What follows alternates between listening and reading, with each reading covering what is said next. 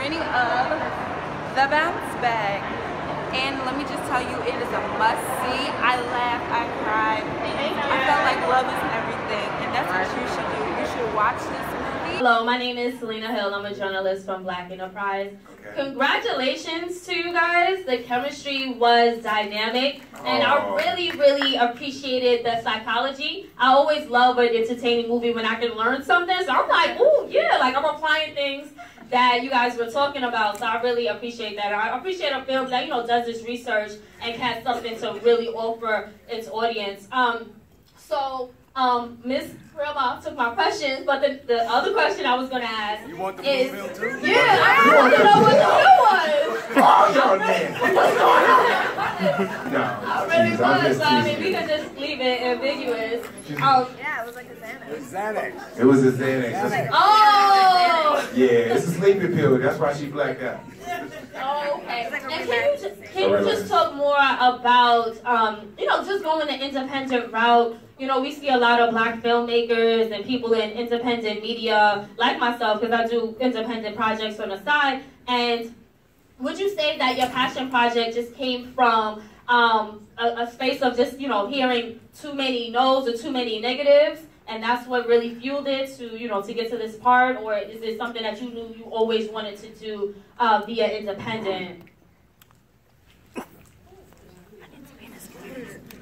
Um, the answer is you hit it on the head. Um, you tell me no i say watch this if i have it within my power. And but i had to create that that power, that platform to have power. I've been very blessed, as we all have, too, and I won't speak for them, but I'm going to guess. But this is my opinion about the game that we play, the business that we're in. We're ble very blessed to do what we do. You know, she's she's done great television shows. She's worked with one of the best in the game, uh, Denzel Washington.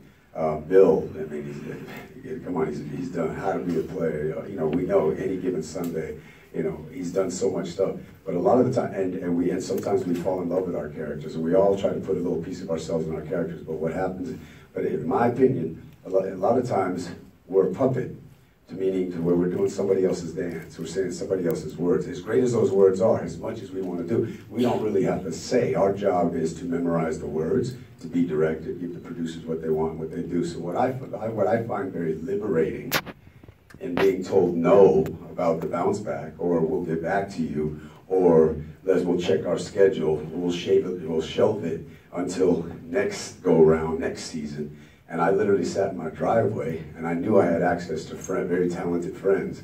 I knew I had access to a production company, uh, not not a production company, production director, a crew, and all I needed was money and nobody wanted to give the money because they didn't want to take a chance on me because maybe, yeah, people know who I am, but only at the network TV level, but not at the film level. Because Hollywood does not care about the first thing, first and only thing they care about is money, and if they can put people in the seats. And so, unless you're a proven Tom Cruise, Brad Pitt, and all that other stuff, so to answer your question, I got tired of getting told no, and I believed in me. I believed in my talent. I knew I had access to friends, I liked the script, and I believed in my fan base. For Shemar, you actually always play the sexy, you know, the sex symbol, you know, the guy who always gets all the girls, you know, it's just easy for you. Um.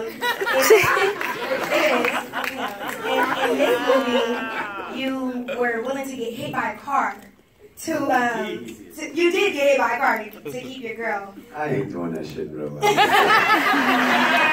how far would my thing is how far would you actually go I'm, I'm going to at least jump out the way. I mean, something. I'm not just going to stand and take it. I mean, yeah. Hey, I mean, no. yeah. No, go ahead. I, go ahead. So how, how far would you really go, or have you really went like over over top for one special woman? Well, first of all, um, Diary of a Mad Black Woman, I got the girl. This movie, I got the girl. But on Young and the Restless, outside of drugging my brother's wife, and Criminal Minds in, in season 11, I'm the most sexually deprived character on television. So you might have thought I was getting the girl, but I was at home solo. I mean, I mean, but um, no, to answer your question, um, it, it's it, I, I always get the girl, you know, no, I, I, I like telling stories, and, and, you know, I've had a blessed twenty-three year career from Young and the Restless, and the Brothers, and, you know, and then the Brothers, you know, and, and the Brothers, my chick was crazy. Oh, yeah. Shot up the whole house and all that, yeah, yeah. Shot up my She shot up his house. Shot up Bill's house, yeah. Um, no, I mean, you know, look, it's fun to get the girl, but as long as it's for me, it's not about oh, I need to be in the movie to get the girl. I just I want to tell stories, and so you know, if it's a romantic comedy, you know, Criminal Minds is pretty pretty dark and all that stuff. And, and, and that wasn't about me getting a girl. That was that was a really dark world of serial criminals and murder and all that. And I was very grateful for that coming off the soap opera, um, just to be able to show that I have a serious side and that I can handle, you know, dark, heavy drama and all that. I, I got to carry a gun be an FBI agent. So, you know, to go from the soap opera, you know, the soap opera stigma, you know, taking my shirt off and Yeah. chasing into drugging my brother's wife and to be able to play a cop. You know, but there's there's levels to me, and I'm going to continue to unveil more and more levels. That, that's a lot of what this transition is about. It, it's, it's this is the bounce back. This isn't the mm. end all, the be all for any of us. You know, we've all been doing this thing for a long time, and we hope to do this for another thirty some years. Yes. And then this is just this is just another just another color I want to show you. And what's wonderful is I'm learning how to have control, uh, how to have a say in controlling what I get to put out there for you, and that goes for all of us. But, uh, Right.